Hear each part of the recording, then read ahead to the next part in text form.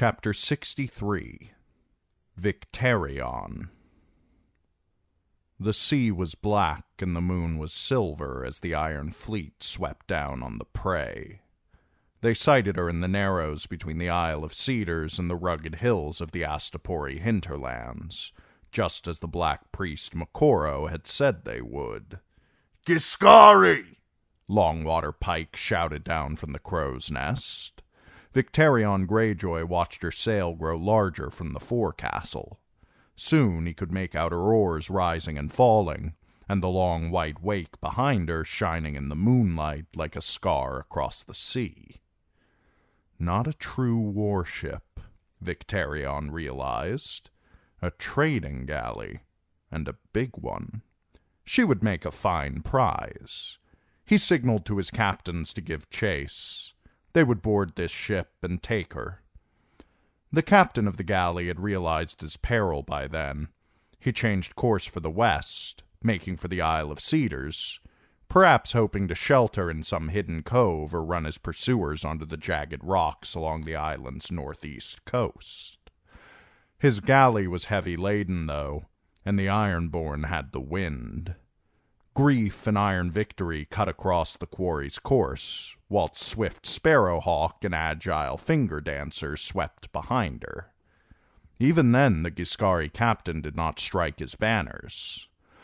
By the time Lamentation came alongside the prey, raking her larboard side and splintering her oars, both ships were so close to the haunted ruins of Ghozai that they could hear the monkeys chattering as the first dawn light washed over the city's broken pyramids. Their prize was named Giscari Dawn, the galley's captain said when he was delivered to Victarion in chains. She was out of New Ghis and returning there by way of Yunkai after trading at Meereen. The man spoke no decent tongue, but only a guttural Giscari, full of growls and hisses, as ugly a language as Victarion Greyjoy had ever heard. Moqorro translated the captain's words into the common tongue of Westeros. The war for Meereen was won, the captain claimed. The Dragon Queen was dead, and a Giscari by the name of Hizdahr ruled the city now. Victarion had his tongue torn out for lying. Daenerys Targaryen was not dead, Moqorro assured him. His red god R'hllor had shown him the queen's face in his sacred fires. The captain could not abide lies, so he had the Giscari captain bound hand and foot and thrown overboard, a sacrifice to the drowned god. Your red god will have his due, he promised Moqorro, but the seas are ruled by the drowned god. There are no gods but R'hllor and the other, whose name may not be said. The sorcerer priest was garbed in somber black, but for a hint of golden thread at collar, cuffs, and hem. There was no red cloth aboard the Iron Victory, but it was not meet that Moqorro go about in the salt-stained rags he had been wearing when the vole fished him from the sea, so Victarion had commanded Tom Tidewood to sew new robes for him from whatever was at hand, and had even donated some of his own tunics for the purpose. Of black and gold those were, for the arms of House Greyjoy showed a golden kraken on a black field, and the banners and sails of their ships displayed the same. The crimson and scarlet robes of the Red Priest were alien to the Ironborn, but Victarion had hoped his men might accept Moqorro more easily once clad in Greyjoy colors. He hoped in vain. Clad in black from head to heel, with a mask of red and orange flames tattooed across his face, the priest appeared more sinister than ever. The crew shunned him when he walked the deck, and men would spit if his shadow chanced to fall upon them. Even the vole, who had fished the red priest from the sea, had urged Victarion to give him to the drowned god. But Moqorro knew these strange shores in ways the Ironborn did not, and secrets of the dragon kind as well. The crow's eye keeps wizards. Why shouldn't I? His black sorcerer was far more puissant than all of Euron's three. even if you threw them in a pot and boiled them down to one. The Damphair might disapprove, but Aeron and his pieties were far away. So Victarion closed his burned hand into a mighty fist and said, Giscari Dawn is no fit name for a ship of the Iron Fleet. For you, wizard, I shall rename her Red God's Wrath. His wizard lowered his head. As the captain says. And the ships of the Iron Fleet numbered four and fifty once again. The next day, a sudden squall descended on them. Moqorro had predicted that as well. When the rains moved on, three ships were found to have vanished. Victarion had no way to know whether they had foundered, run aground, or been blown off course. They know where we are going, he told his crew. If they are still afloat, we will meet again. The Iron Captain had no time to wait for laggards not with his bride encircled by her enemies. The most beautiful woman in the world has urgent need of my axe. Besides, Moqorro assured him that the three ships were not lost. Each night, the sorcerer priest would kindle a fire on the forecastle of the Iron Victory and stalk around the flames, chanting prayers. The firelight made his black skin shine like polished onyx, and sometimes Victarion could swear that the flames tattooed on his face were dancing too, twisting and bending, melting into one another, their colors changing with every turn of the priest's head. The Black Priest is calling demons down on us, one oarsman was heard to say. When that was reported to Victarion, he had the man scourged until his back was blood from shoulders to buttocks. So when Moqorro said, Your lost lambs will return to the flock of the isle called Yaros. The captain said, Pray that they do, priest, or you may be the next to taste the whip. The sea was blue and green, and the sun blazing down from an empty blue sky when the Iron Fleet took its second prize, in the waters north and west of Astapor. This time it was a Myrish cog named Dove, on her way to Yunkai by way of New Ghis with a cargo of carpets, sweet green wines, and Myrish lace. Her captain owned a Myrish eye that made far off things look close. Two glass lenses and a series of brass tubes, cunningly wrought so that each section slid into the next until the eye was no longer than a dirk. Victarion claimed that treasure for himself. The cog he renamed Shrike. Her crew would be kept for ransom, the captain decreed. They were neither slaves nor slavers, but free Myrmen and seasoned sailors. Such men were worth good coin. Sailing out of Myr, the dove brought them no fresh news of Meereen or Daenerys, only stale reports of Dothraki horsemen along the Rhoyne, the Golden Company upon the march, and other things Victarion already knew. What do you see?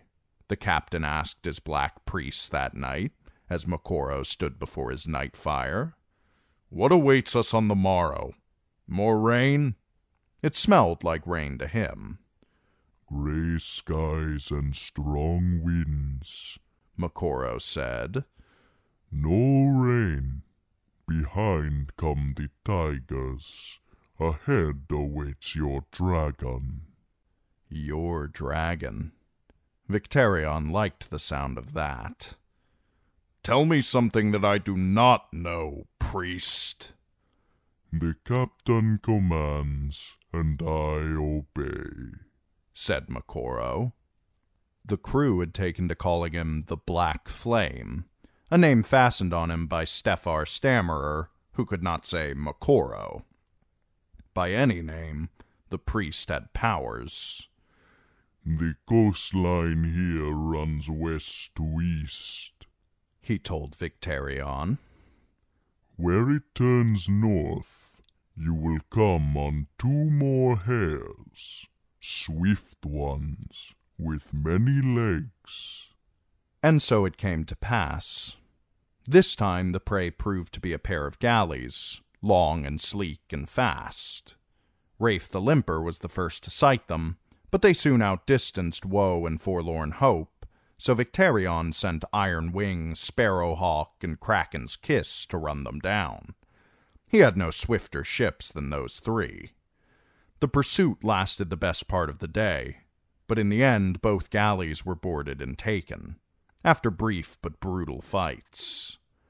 They had been running empty, Victarion learned, making for New Ghis to load supplies and weapons for the Giscari legions encamped before Meereen, and to bring fresh legionaries to the war to replace all the men who'd died. Men slain in battle? asked Victarion. The crews of the galleys denied it. The deaths were from a bloody flux. The Pale Mare, they called it. And like the captain of the Giscari Dawn, the captains of the galleys repeated the lie that Daenerys Targaryen was dead.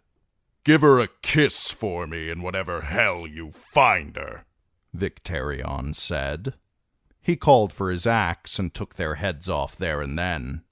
Afterward, he put their crews to death as well, saving only the slaves chained to the oars. He broke their chains himself and told them they were now free men and would have the privilege of rowing for the Iron Fleet an honor that every boy in the Iron Islands dreamed of growing up. The Dragon Queen frees slaves, and so do I, he proclaimed. The galleys he renamed Ghost and Shade. For I mean them to return and haunt these Yunkishmen, he told the dusky woman that night after he had taken his pleasure of her. They were close now, and growing closer every day. We will fall upon them like a thunderbolt, he said as he squeezed the woman's breast. He wondered if this was how his brother Aeron had felt when the drowned god spoke to him. He could almost hear the god's voice welling up from the depths of the sea. You shall serve me well, my captain, the waves seemed to say. It was for this I made you. But he would feed the red god too, Moqorro's fire god. The arm the priest had healed was hideous to look upon, pork crackling from elbow to fingertips. Sometimes when Victarion closed his hand, the skin would split and smoke. Yet the arm was stronger than it had ever been. Two gods are with me now, he told the dusky woman. No foe can stand before two gods. Then he rolled her on her back and took her once again. When the cliffs of Yaros appeared off their larboard bows, he found his three lost ships waiting for him, just as Moqorro had promised. Victarion gave the priest a golden torque as a reward. Now he had a choice to make. Should he risk the straits or take the Iron Fleet around the island? The memory of Fair Isle still rankled in the Iron Captain's memory. Stannis Baratheon had descended on the Iron Fleet from both north and south whilst they were trapped in the channels between the island and the mainland, dealing Victarion his most crushing defeat. But sailing around Yaros would cost him precious days. With Yunkai so near, shipping in the straits was like to be heavy, but he did not expect to encounter Yunkish warships until they were closer to Meereen. What would the Crow's Eye do? He brooded on that for a time, then signaled to his captains. We sail the straits. Three more prizes were taken before Yaros dwindled off their sterns. A fat galleass fell to the Vole and Grief, and a trading galley to Manfryd Merlyn of Kite.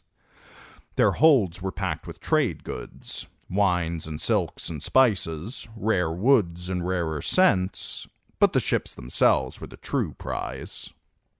Later that same day, a fishing ketch was taken by Seven Skulls and Thrallsbane.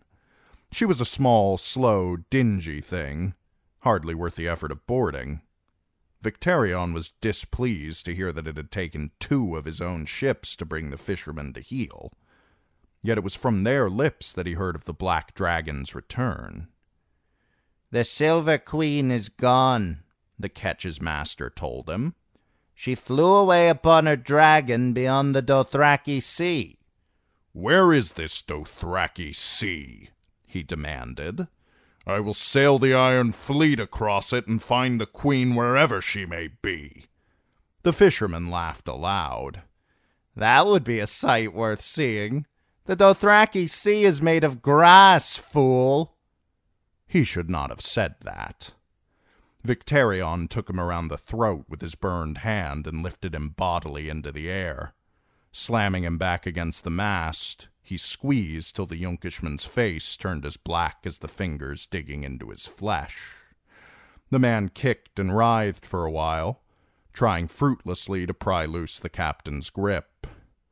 No man calls Victarion Greyjoy a fool and lives to boast of it. When he opened his hand, the man's limp body flopped to the deck. Longwater Pyke and Tom Tidewood chucked it over the rail. Another offering to the drowned god. Your drowned god is a demon, the black priest Moqorro said afterward. He is no more than a thrall of the other, the dark god whose name must not be spoken. Take care, priest, Victarion warned him. There are godly men aboard this ship who would tear out your tongue for speaking such blasphemies. Your red god will have his due. I swear it. My word is iron. Ask any of my men. The black priest bowed his head. There is no need. The Lord of Light has shown me your worth, Lord Captain. Every night in my fires I glimpse the glory that awaits you. Those words pleased Victarion Greyjoy mightily, as he told the dusky woman that night. My brother Balon was a great man, he said, but I shall do what he could not. The Iron Island shall be free again, and the old way will return. Even Dagon could not do that. Almost a hundred years had passed since Dagon Greyjoy sat the sea stone chair, but the Ironborn still told tales of his raids and battles.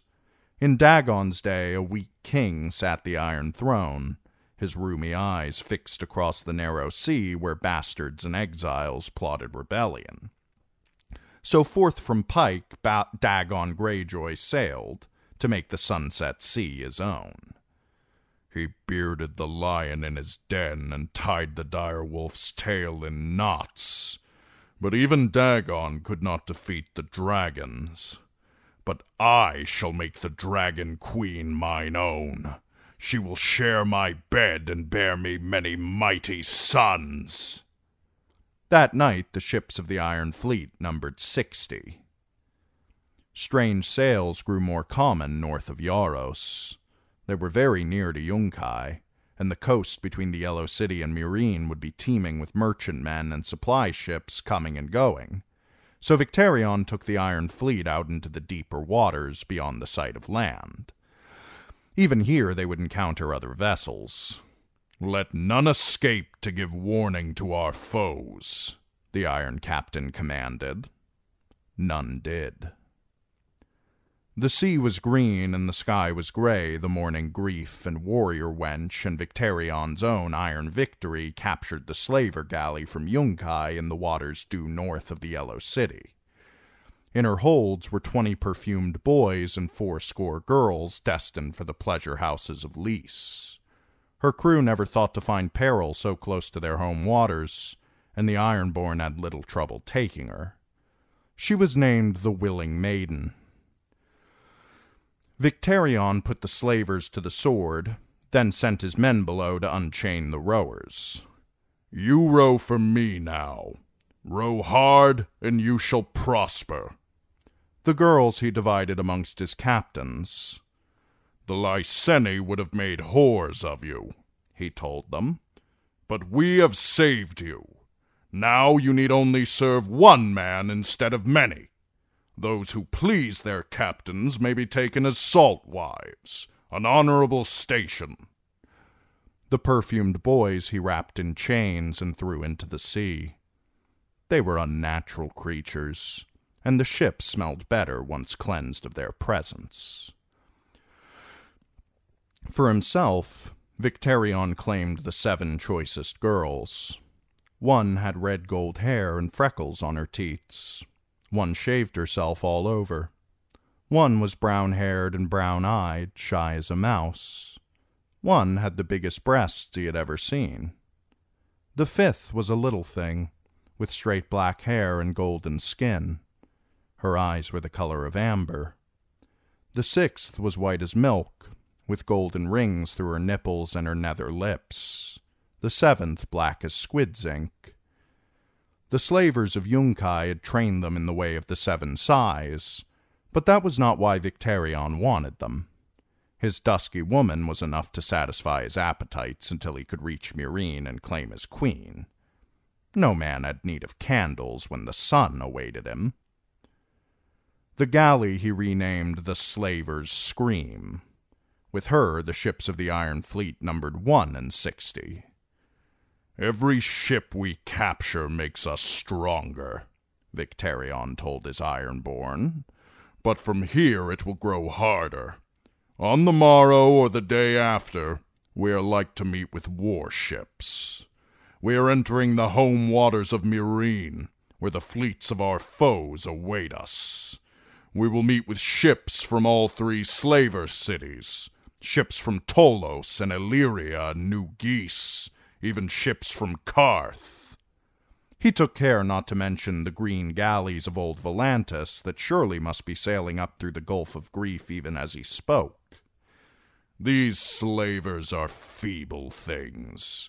You have seen how they run before us, heard how they squeal when we put them to the sword. Every man of you is worth twenty of them, for only we are made of iron. Remember this when first we next spy some slaver's sails. Give no quarter and expect none. What need have we of quarter? We are the iron-born, and two gods look over us. We will seize their ships, smash their hopes, and turn their bay to blood. A great cry went up at his words. The captain answered with a nod, grim face, then called for the seven girls he had claimed to be brought on deck, the loveliest of all those found aboard the Willing Maiden. He kissed them each upon the cheeks and told them of the honor that awaited them, though they did not understand his words. Then he had them put aboard the fishing ketch that they had captured, cut her loose, and had her set afire. With this gift of innocence and beauty, we honor both the gods, he proclaimed as the warships of the Iron Fleet rode past the burning ketch. Let these girls be reborn in light, undefiled by mortal lust. Or let them descend to the drowned god's watery halls, to feast and dance and laugh until the seas dry up. Near the end, before the smoking ketch was swallowed by the sea, the cries of the seven sweetlings changed to joyous song, it seemed to Victarion Greyjoy. A great wind came up then, a wind that filled their sails and swept them north and east and north again, toward Meereen and its pyramids of many-colored bricks. On wings of song I fly to you, Daenerys, the Iron Captain thought. That night, for the first time, he brought forth the dragon horn that the crow's eye had found amongst the smoking wastes of great Valyria. A twisted thing it was, six feet long from end to end, gleaming black and banded with red gold and dark Valyrian steel. Euron's hell horn. Victarion ran his hand along it. The horn was as warm and smooth as the dusky woman's thighs, and so shiny that he could see a twisted likeness of his own features in its depths. Strange sorcerous writings had been cut into the bands that girded it. Valyrian glyphs, Moqorro called them. That much Victarion had known. What do they say? Much and more. The black priest pointed to one golden band. Here the horn is named. I am Dragonbinder, it says. Have you ever heard it sound? Once. One of his brother's mongrels had sounded the hell horn at the King's Kingsmoot on Old Wyk. A monster of a man he had been, huge and shaven headed, with rings of gold and jet and jade around arms thick with muscle, and a great hawk tattooed across his chest. The sound it made, it burned somehow, as if my bones were on fire, searing my flesh from within. Those writings glowed red hot, then white hot and painful to look upon. It seemed as if the sound would never end. It was like some long scream, a thousand screams all melted into one. And the man who blew the horn? What of him? He died. There were blisters on his lips after. His bird was bleeding too. The captain thumped his chest. The hawk, just here. Every feather dripping blood. I heard the man was all burned up inside, but that might just have been some tale. A true tale. Moqorro turned the hell horn, examining the queer letters that crawled across a second of the golden bands. Here it says, No mortal man shall sound me and live. Bitterly, Victarion brooded on the treachery of brothers. Euron's gifts are always poisoned. The crow's eye swore this horn would bind dragons to my will. But how will that serve me if the price is death? Your brother did not sound the horn himself, nor must you. Moqorro pointed to the band of steel. Here, blood for fire, fire for blood. Who blows the hell horn matters not. The dragons will come to the horn's master. You must claim the horn with blood.